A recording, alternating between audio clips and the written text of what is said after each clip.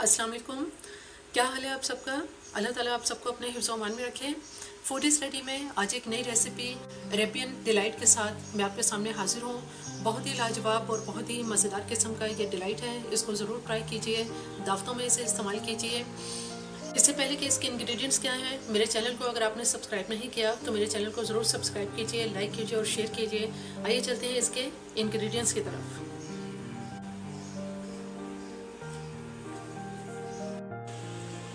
Arabian delight बनाने के लिए हमें आधा लीटर दूध चाहिए।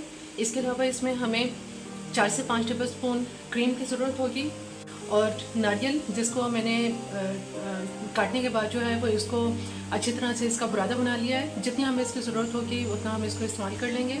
और तकरीबन 20 ये खजूर हैं, जिनको धोने के बाद, इसकी गुठली निकालने के बाद इसको मैंने मोटा मोटा चॉप कर लिया है। पाँच से छः टेबल स्पून हमारे पास खोया है।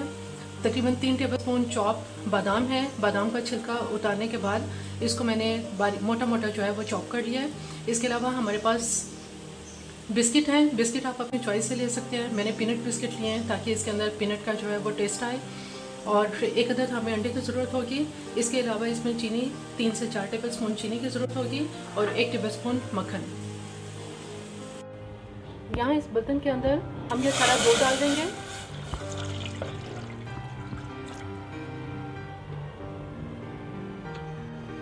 इस दूध के अंदर ये सारी खजूर डाल देंगे।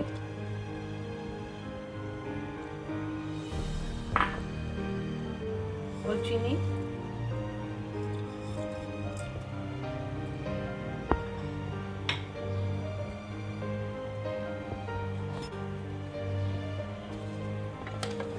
इसको बहुत अच्छी तरह से पकाएँगे कि खजूर जो है वो दूध के अंदर बिल्कुल मिक्स हो जाए।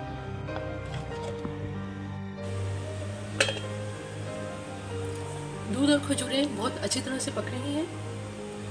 इसके अंदर अब हम मक्खन डाल देंगे। मक्खन के साथ इसको उस तक पकाएँगे, जब तक कि ये दूध खुश्क होने लगे। अभी मैं इसको थोड़ी देर के लिए कवर कर देती हूँ।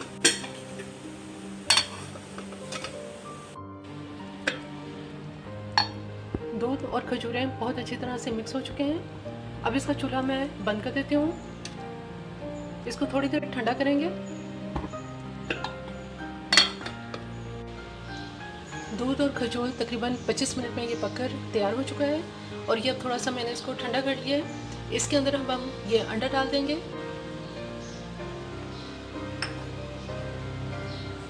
और इसको दोबारा थोड़े से थोड़ी सी देर के लिए पकाएँगे।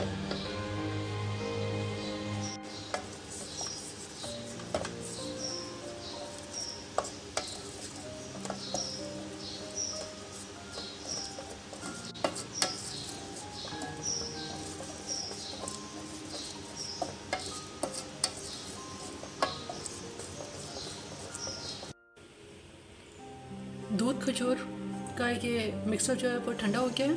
अंडा डालने के बाद इसको थोड़ा ठंडा कर लिया अब इसमें ये बिस्किट सारे शामिल कर देंगे। और साथ ही इसमें ये बादाम भी डाल देंगे।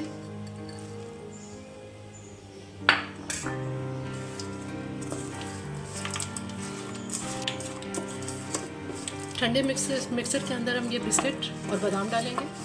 इसको अच्छी तरह फोल्ड कर लें।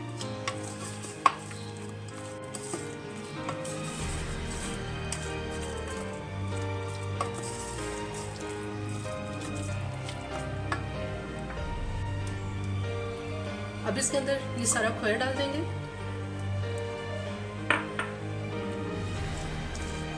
खोए को भी इसमें बहुत अच्छी तरह से फोल्ड कर लेंगे।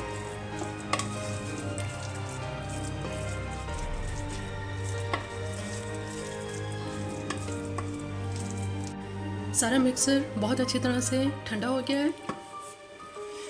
यहाँ एक प्लेट के अंदर, जिसको मैंने एक टेबल स्पून ऑयल के साथ ग्रेस कर लिया है।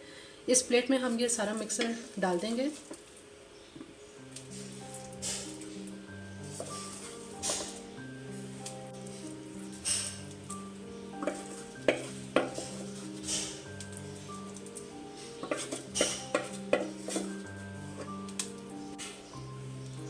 इसको बहुत अच्छी तरह से इसके ऊपर फैला के इसको सेट कर लेंगे।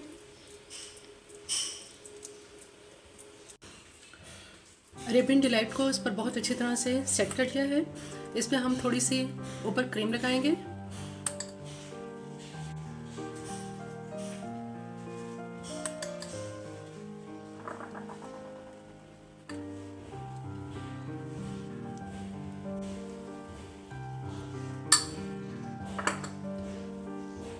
नारियल का ये सारा बुरादा इसके ऊपर छिड़क देंगे।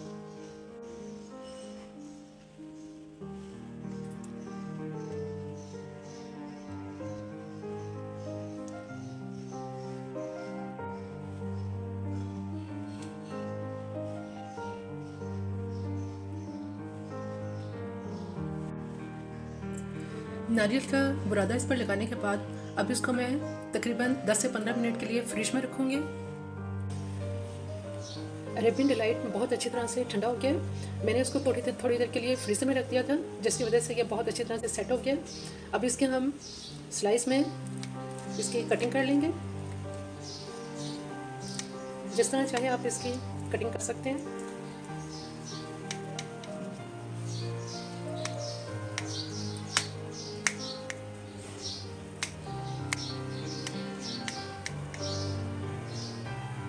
इस पर हम ये चेरीस लगा देंगे।